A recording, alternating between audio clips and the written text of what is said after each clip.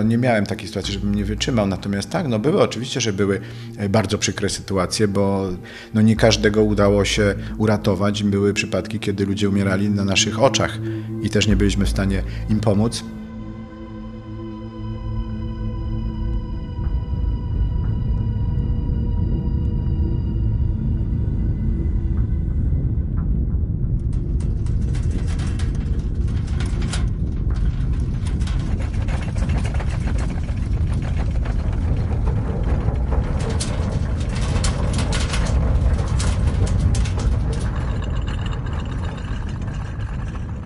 Były akurat Indie, więc tutaj był przypadek, gdzie zdarzyło się to na dodatek w nocy. Tam było trzęsienie, tylko my nie prowadziliśmy prac poszukiwawczych z psami. Zresztą dotarliśmy już na tyle późno, że to y, nie było już y, sensu, że to w, w takim rejonie, że, że tych ludzi udało się powyciągać. Natomiast my tam pomagaliśmy medycznie tym osobom, no bo szpitale się zawaliły, więc nie było szans, y, żeby uzyskać pomocy medycznej, fachowej, takiej szpitalnej, więc my tam jakby w takich polowych warunkach udzielaliśmy tej pomocy i sukcesywnie segregując tych ludzi byli wywożeni w inne rejony kraju. I w czasie naszego wypoczynku w nocy, około drugiej, obudzono nas, wartownik nasz tam, że jest pan, który potrzebuje pomocy. Więc my na równe nogi wszyscy, no i komu trzeba pomóc? Się okazuje, że on ma kobietę w samochodzie i mówi, że, że ona jest nieprzytomna. Więc my ją wyciągamy z tego samochodu, wnosimy do naszego namiotu zabiegowego i no, sprawdzamy, a ta osoba nie ma czynności życiowych. Żadnych, więc to nie jest jakieś tam zasłabnięcie, to nie jest coś, co się wydarzyło przed momentem. Więc natychmiast przystępujemy do reanimacji. Więc tutaj e, z, z lekarzem i wszyscy ratownicy na pełnych obrotach.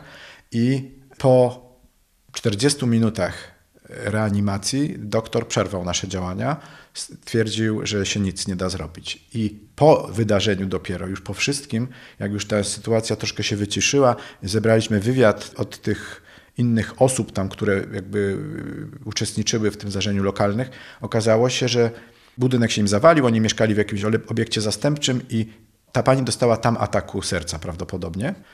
I ten y, jej mąż jeździł z nią, poszukując pomocy, więc jeździł na początku po y, swoich, ale była to noc, jeszcze rejon zawal po zawaleniu się, prawda, po katastrofie, więc on ją jeździł do jakiejś przychodni, no nie istnieje. Pojechał do szpitala, szpital nie istnieje. Więc gdzieś dopiero kogoś natrafił takiego, kto powiedział, że ale jest taki szpital polowy prowadzony przez Polaków. I on dotarł do nas, ale to mu zajęło kilka godzin. I więc on tak naprawdę woził już tą panią martwą. Nie wiedząc oczywiście o tym, więc jak do nas dotarł, to ta pani już czynności życiowych nie miała przez kilka godzin.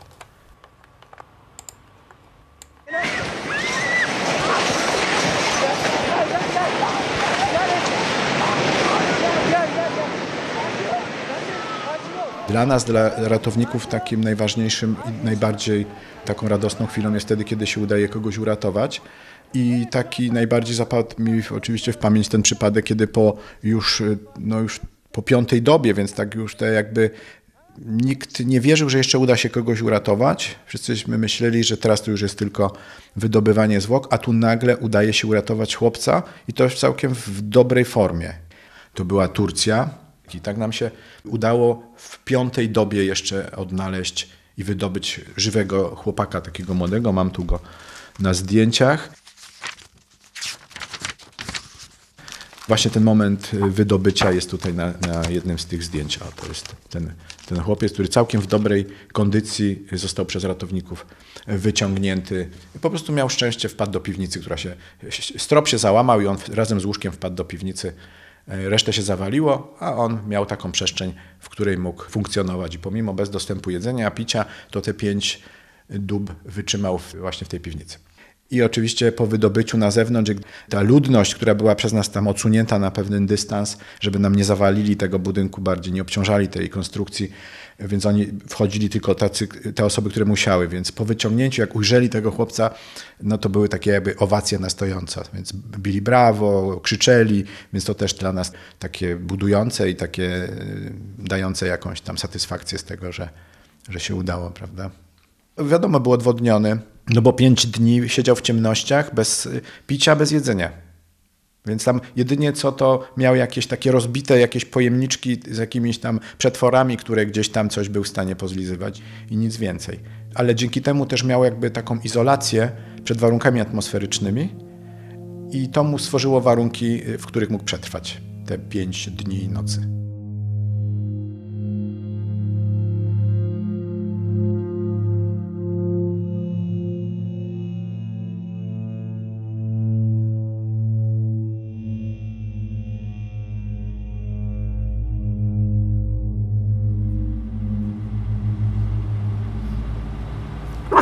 Robimy kierowanie z dystansu.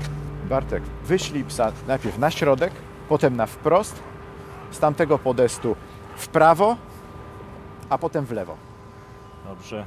Jagger siadł. Naprzód. Waruj. Dobrze. Naprzód. Góra. Waruj. Dobrze. Prawo. Góra. Waruj. Lewo. Góra. Waruj. Do mnie. Pięknie, brawo! Zabawa!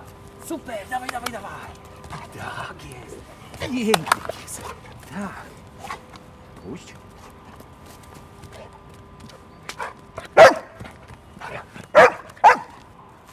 Przewodnik ćwiczy z psem wysyłanie go w określonych kierunkach, czyli tam, gdzie on sobie życzy. To jest podłoże do późniejszych ćwiczeń poszukiwawczych, żeby pies chodził i przeszukiwał nam obszar, który chcemy, być, żeby był przeszukany. To, co chcemy przeszukać, to wiemy my, ratownicy. A pies po prostu wykonuje nasze zadania. My mu wskazujemy obszar, który ma przeszukać. Określamy, zawężamy, bo często trzeba pracować w kilka psów, często ten obszar jest bardzo duży i my go dzielimy na sektory. Więc chcemy, żeby każdy pies przeszukał swój sektor, a nie sugerował się innym. I więc my nim kierujemy, wstrzymujemy go, żeby nie przeszukiwał za daleko, czyli zadaniujemy go w określonej przestrzeni. Stop! Jerry! Brawo! Dobrze! Super, dawaj, dawaj, dawaj. Kogo znalazłeś? Brawo, piesku, cześć. Jerry! Ale dzielny pies Chodź do nas, chodź. znalazł.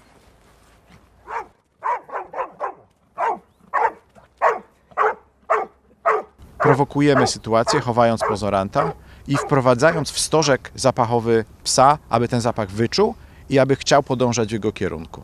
A następnie dopiero dokładamy trzeci element, jakim jest oznaczanie tego odnalezionego człowieka.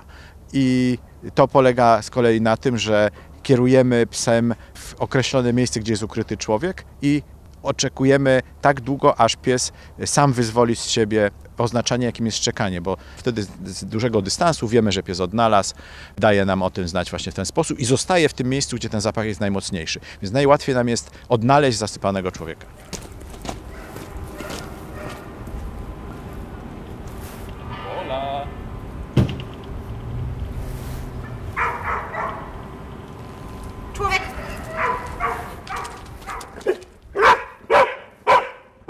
Uczestniczyłem w pierwszych misjach jeszcze bez psa. To był etap, kiedy ja nie mogłem mieć psa.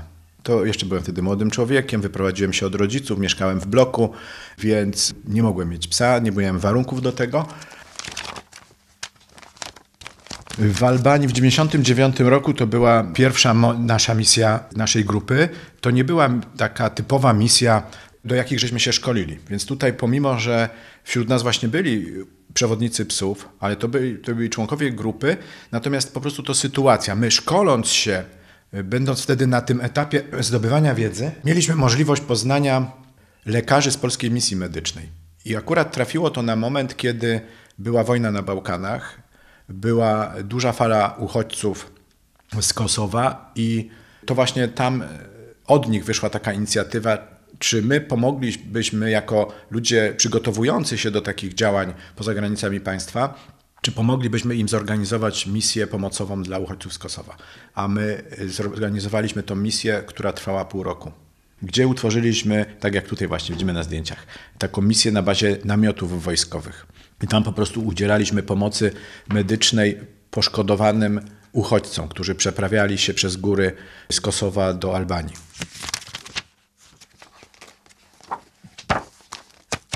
Był taki przypadek, gdzie matka przeszła przez góry z dwójką dzieci dotarła do naszego obozu i mm, po mm, jakby przekroczeniu namiotu straciła przytomność. Została dwójka dzieci, jedna taka, jedno dziecko takie malutkie, które nie umiało jeszcze chodzić, było na rękach, a drugie chodzące. I, i tak nagle mamy trzech pacjentów, e, prawda, bo matkę nieprzytomną plus takie wycieńczone dzieci. No i wtedy tak e, naprawdę trzeba było się e, spiąć i uruchomić, tak pracować na, na, na takich wysokich obrotach. Podjęliśmy opiekę nad tą osobą i, i udało się ją przywrócić do zdrowia. Ona przez kilka dni u nas przebywała z tymi dziećmi, a potem została przekazana, znaleźliśmy jej miejsce poprzez kontakt z władzami lokalnymi w obozie dla uchodźców. To nam naprawdę dało olbrzymie doświadczenie, które można było przenieść później na kolejne działania, też w trudnych rejonach, bo tak naprawdę ta misja się jeszcze nie skończyła, a już była trzęsienie ziemi w Turcji. I bardzo wiele podobnych rzeczy nas tam spotykało. Więc tam podstawowym elementem było właśnie wykorzystanie psów.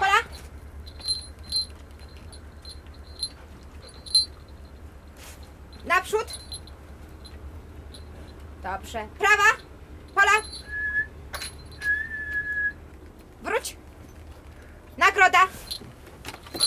Zabawa. Super. Ekstra. Psy mogą pracować na dwa sposoby. Jeden to jest y, właśnie poszukując zapachu pozostawionego na śladzie, a druga metoda to jest praca górnym wiatrem. To jest coś podobnego jak pracują psy myśliwskie. Czyli polega to na tym, że y, wiatr przenosi zapach, który pozostawia człowiek i to potrafi przenosić na duże odległości, a pies potrafi ten zapach odnaleźć i podążając pod wiatr dojść do źródła tego zapachu. I to jest umiejętność, która dla nas, ratowników, jest ważniejsza i właśnie tą umiejętność wykorzystujemy przy poszukiwaniach zarówno w terenie, jak i na gruzowisku. Na obecną chwilę nikt nie wymyślił takiego urządzenia, które by było w stanie odnaleźć człowieka zasypanego pod gruzami, który nie wydaje dźwięków. Więc jedynie pies, wykorzystując właśnie węch, zapach, który człowiek wytwarza i on jest w stanie ten zapach wyczuć i pokazać nam, w którym miejscu wydostaje się ten zapach spod gruzów na zewnątrz. Czyli pokazuje nam taką najkrótszą ścieżkę dojścia do, do tego zasypanego człowieka. Więc tutaj nie da się zastąpić na obecną chwilę psa niczym.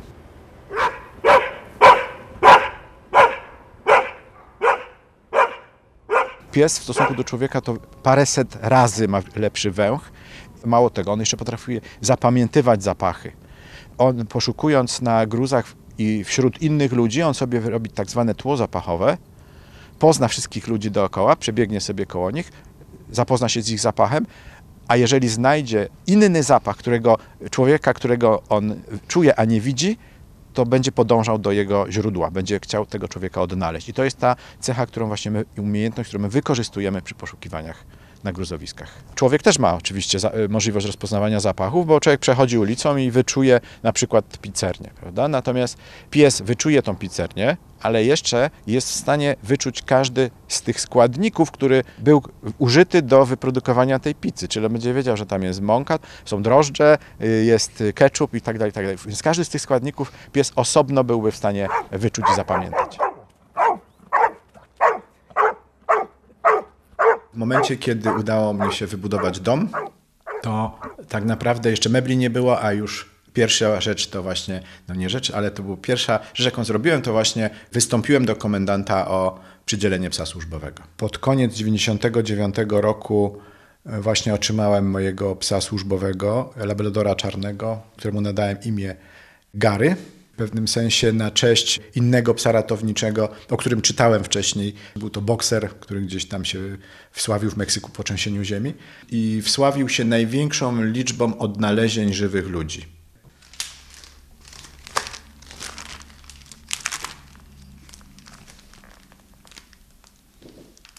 Tutaj mamy. To był 1999 rok. To była Turcja, gdzie udaliśmy się w 14 osób z czterema psami. Także było to, porównując to do obecnych wyjazdów, to oczywiście to była nas maleńka garstka. I to jeszcze na dodatek trafiliśmy do y, miejscowości, gdzie byliśmy pierwszymi ratownikami, którzy mogli coś zrobić, gdyż miejscowa straż pożarna się zawaliła przy tym trzęsieniu ziemi i cała zmiana służbowa ratowników zginęła. Więc byliśmy jedyni.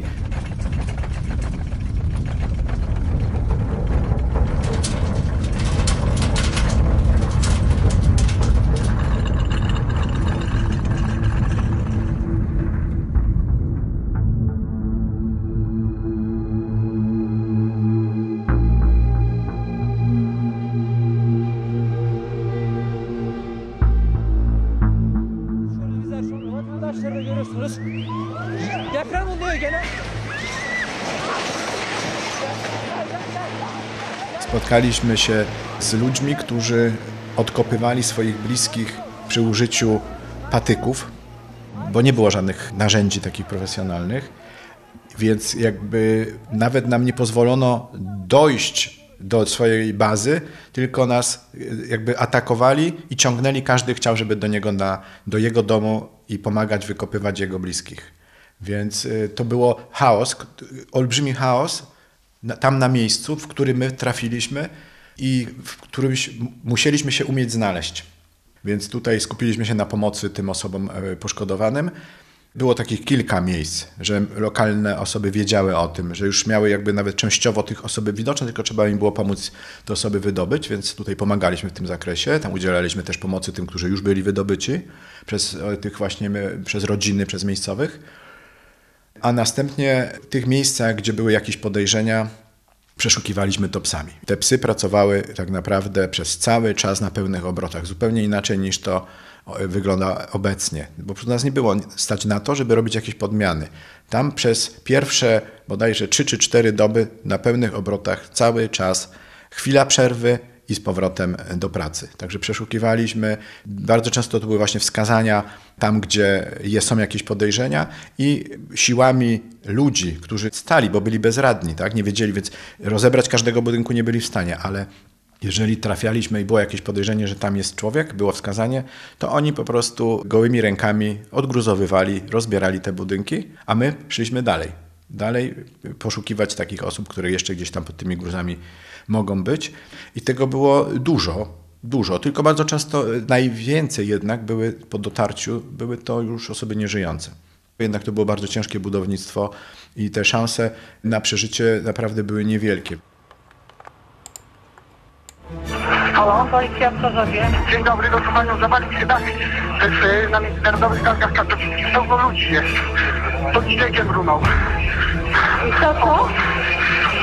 Na międzynarodowych targach katowickich cały się zawalił. Pełno ludzi jest zawalonych.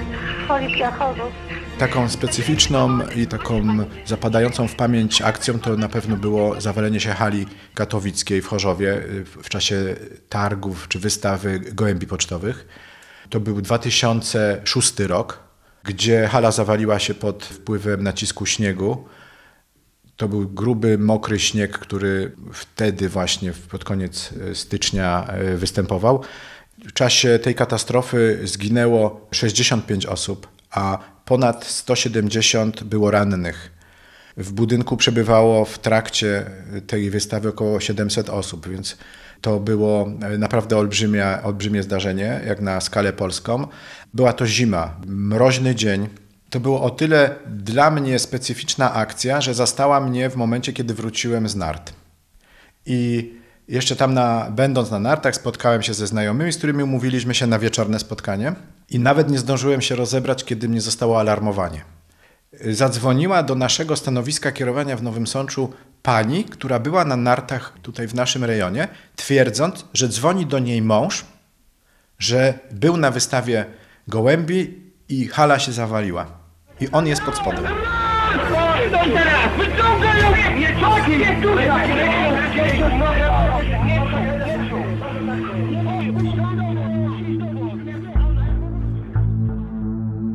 Byliśmy tam dosłownie w godzinę od momentu po zawaleniu się tej hali. Więc byliśmy bardzo szybko i tak naprawdę pierwsze wejście e, naszego dowódcy na obszar od razu usłyszał osoby pod gruzami, zawalonymi blachami, bo to była hala taka metalowa z dużą ilością śniegu jeszcze na, na tym dachu. Było bardzo zimno, to tak bardzo dobrze pamiętamy, bo nawet dla psów to był problem chodzić po takim oblodzonym dachu, który prawda, już leżał na, na tej konstrukcji, na tych gruzach, więc śliskie, nie wszędzie dało się wejść, trzeba było analizować i odpowiednio wpuszczać te psy do, do działania. Natomiast wprowadzanie psów było następnym elementem, bo my od razu trafiliśmy na żywych, potrzebujących pomocy, więc jak gdyby psy odstawiliśmy na bok, przywiązaliśmy je do ogrodzenia, a my skupiliśmy się na wydobywaniu tych osób, czyli do, na wczołgiwaniu się pod gruzy, robienia pewnej przestrzeni wolnej, wycinania elementów i wydobywania po prostu, bo taka była wtedy potrzeba.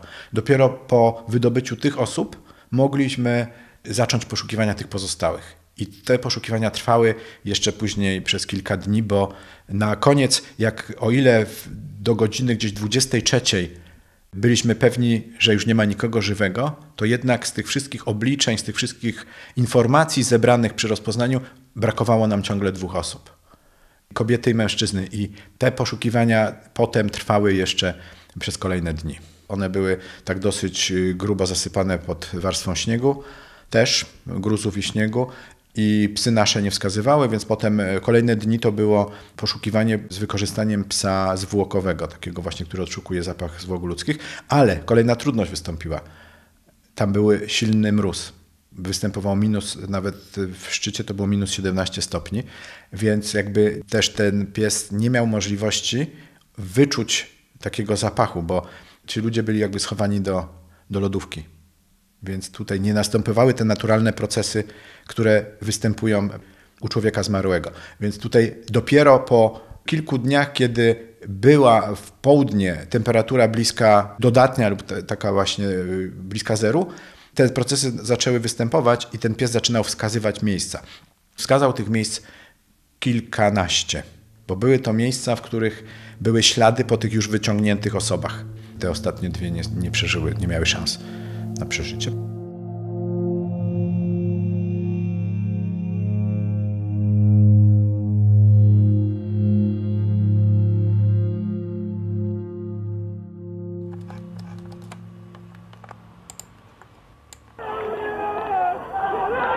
Trzęsienie ziemi w Haiti w 2010 roku. Była to moja ostatnia misja, w której brałem udział, bo odszedłem na emeryturę. Na pewno tam już te nasze działania były inne. Były na pewno na taką dużą skalę. Duża grupa ludzi, około 80 osób. Akcja jest bardzo dobrze zorganizowana, ale bardzo duża ilość osób poszkodowanych. To naprawdę dla każdego takiego zespołu ratowniczego ilość udzielonych pierwszych pomocy poszczególnym osobom to szło w dziesiątki. To było bardzo dużo. Cały czas gdzieś mieliśmy do czynienia właśnie z tymi osobami, które ucierpiały w wyniku trzęsienia, a nie miały gdzie otrzymać tej pomocy. I to były osoby poparzone między innymi. Też pamiętam przypadek, kiedy udało nam się pomóc dziewczynce, która była naprawdę w 70% poparzona. W czasie trzęsienia ziemi po prostu na nią się wylała jakaś tam jakaś ciecz gorąca, więc ona trafiła ostatecznie do nas i my byliśmy w stanie jej tej najbardziej takiej y, niezbędnej pomocy udzielić na miejscu, a następnie zorganizować, dzięki naszym też kolegom w sztabie, zorganizować śmigłowiec i tym śmigłowcem ją przetransportować do międzynarodowego szpitala, który był na statku więc ona mogła otrzymać tą pomoc, której by na pewno nie otrzymała w lokalnych szpitalach. Więc do takiego naprawdę dobrze amerykańskiego statku, który był na morzu, który udzielał tej pomocy, więc te najcięższe przypadki tam trafiały. Więc to, że ona trafiła do nas, to na pewno zaowocowało tym, że ona ten standard pomocy medycznej miała zdecydowanie większy.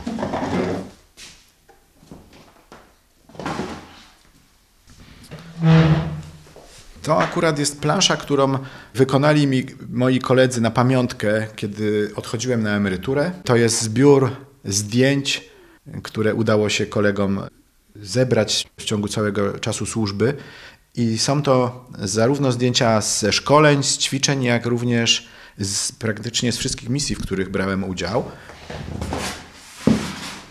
Mamy tutaj Garego w trakcie akcji na Haiti, mamy Garego Tutaj mamy w czasie ćwiczeń wspólnie z jednostką z Gdańska, gdzie widzimy, że tu jest akurat już po ćwiczeniach i możliwość relaksu w morzu. Pomiędzy przewodnikiem a psem zawsze są y, relacje, zwłaszcza tutaj, w- tutaj w tej dziedzinie ratowniczej, bo my raczej staramy się, żeby tutaj nie ma jak- jakichś takich, że pies tam gdzieś w jednostce zostaje, tylko żyje się z psem w domu, zabiera się psa do domu. Także nawet na wyjazdy, na wakacje to się wyjeżdża z psem. Także ten pies nam towarzyszy cały czas. Jak jeździmy gdziekolwiek, to właśnie psa zabieramy ze sobą i traktuje się go jak członka rodziny. Także zabieramy dzieci, ale też zabieramy psa ze sobą. 11 lat pies służył, a żył ze mną przez lat 17.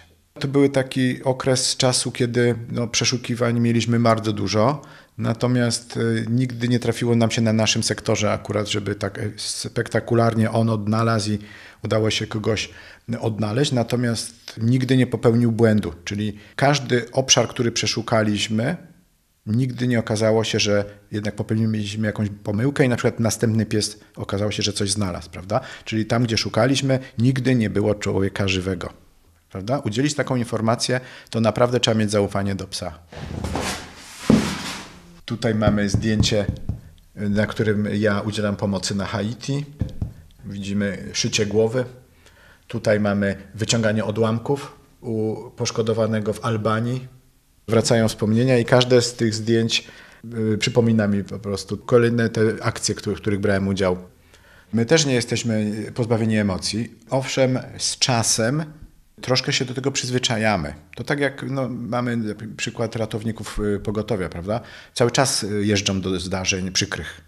Strażacy też jeżdżą do zdarzeń, w których zawsze jest to jakieś czyjeś nieszczęście i bardzo często jest to jakaś taka właśnie sytuacja wręcz śmiertelna, prawda? Z czasem się do tego przyzwyczajamy. Natomiast jeszcze jak do tego dochodzi taki właśnie chaos związany z tą akcją, no jest to trudne, ale to właśnie na tym polega. Tu są wybierani ludzie i wykonują tą pracę ludzie, którzy się do tego nadają, którzy sami są w stanie opanować te emocje i pomimo tego wszystkiego realizować swoje zadanie. Bo nie da się inaczej. Gdyby oni też zaczęli panikować i, i się rozczulać nad każdym z taką sytuacją, to po prostu by nic nie zrobili. Dobrze, Asiu, najpierw pies na środek i ze środka wyślij psa w prawo, potem w lewo, na końcu na środek i przywołanie. Dobrze. Figo? Dobrze.